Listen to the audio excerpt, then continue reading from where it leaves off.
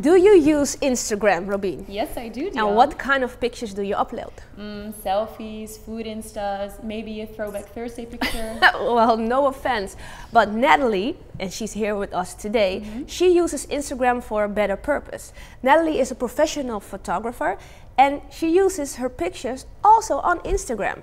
Natalie, welcome. Thank you for having me. Hi, Natalie. Why did you decide to put your pictures on Instagram?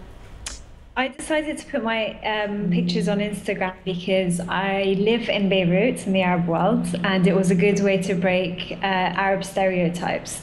So it was like showing the everyday life of wherever I was in the Middle East. Um, and it acted like a travel diary as well.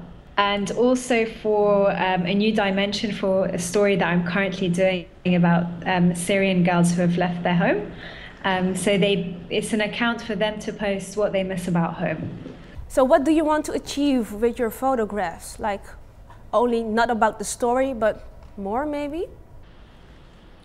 Uh, well, for the story and on Instagram, it's a different way of uh, showing showing subjects behind the headlines and subjects behind the news. It's a different type of. It's showing people what they didn't haven't seen before.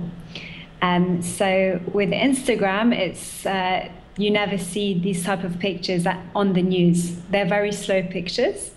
Mm-hmm.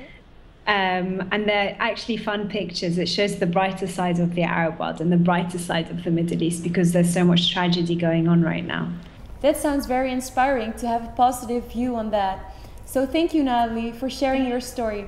And we'll definitely follow you and your photos on Instagram, right? Right, definitely. thank you, Natalie.